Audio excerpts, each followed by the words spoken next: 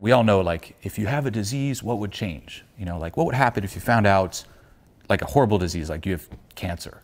What would change? And immediately there's less of that split, that denial. We're like, wow, we start becoming aware of all this stuff that we just keep blocking off or putting off.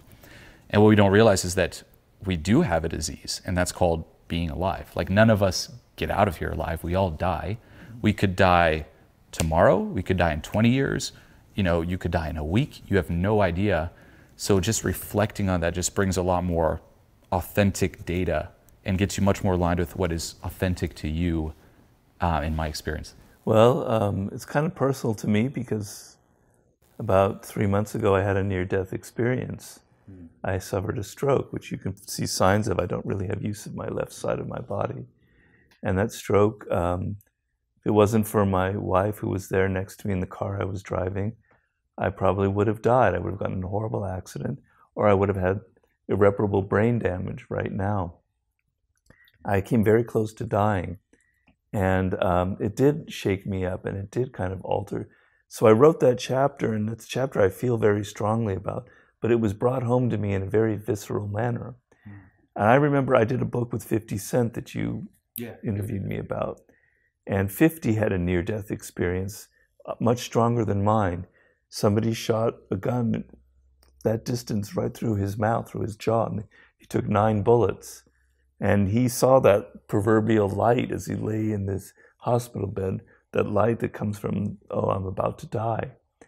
And I noticed that people like that, or even with myself, after that sense of experience, there's a certain calmness that comes over you.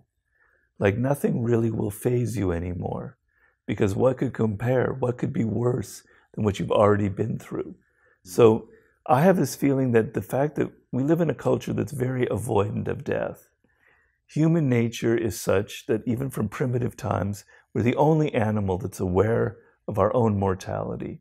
And it's had a profound impact on us. It's part of what led to the creation of religions and the belief of an afterlife, that we're all going to maybe go to a heaven. Mm-hmm. You know, so we're very much afraid, deeply afraid of this feeling of death. And in our culture, it has a different form. We don't maybe believe in the afterlife, but what we do is we deny death very deeply. We deny its presence.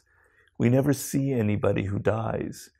You know, 200 years ago, you were around people in your house or on the streets. You saw literally somebody die. It had a very visible presence to you. You saw animals were being killed so that you could eat them, right? Death had a presence.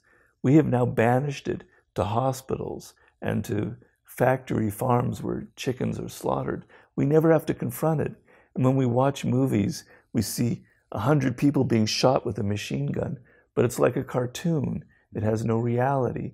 So we're living in a world in we are in deep, deep denial of the fact that we are mortal creatures.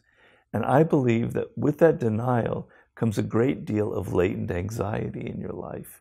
It makes you anxious and fearful for a lot of little smaller things in life you know, which is why somebody who's had a near death experience gets rid of that anxiety and doesn't have that kind of avoidant mentality. So I want to open up, I want you to, we tend to turn our back towards death, and I want you to turn around and face it square in the eye every single day. It's not a negative thing, it's an immensely beautiful thing. First of all, you know, you are alive, you know, you feel that you're alive. But by not realizing that you're dead, that you're contained inside of you, your, your mortality, you're only half alive. You're only dealing with part of the truth. And so in, in Zen philosophy and samurais, they want you to connect with that death energy in your gut, in your hara right here, so that it'll make you feel more alive. And then realizing that the people around you are going to die will make you connect with them on a much more on a much deeper level.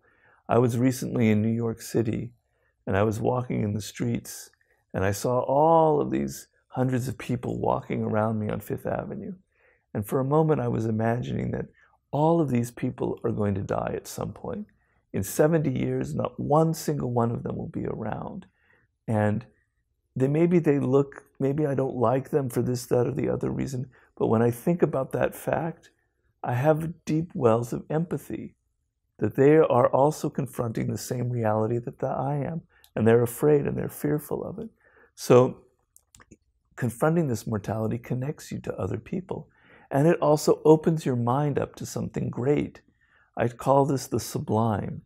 And I think one of the things that really oppresses people in the world today is that our lives are so immersed in banality, in triviality, in the day to day grind, and we have no sense of what is immense about the world. And death is the most immense possible experience. We have no idea what it is. It's like this great, vast darkness. And I say, by confronting this thought of your own mortality, you open your mind up to other realities. You open your mind up to the vastness of space and time hmm. that, you know, is a, quite an overwhelming feeling to realize that eight, some three or four billion years ago, life began on this planet. And the fact that you are alive now is extremely, extremely lucky, the set of circumstances that led to your being alive. These kinds of thoughts are sublime thoughts, and they come from the fact that you're confronting your mortality and you're opening your mind up to this much wider experience than what you were that when you're afraid versus the anxiety-ridden and avoidant attitude that most of us feel. So, confronting your mortality is perhaps the most liberating step of all, and is why I ended the book on that note. Yeah, yeah, it's like the ultimate confronting reality, not the illusion. It's like life and death. Right. It's the ultimate red pill and that's.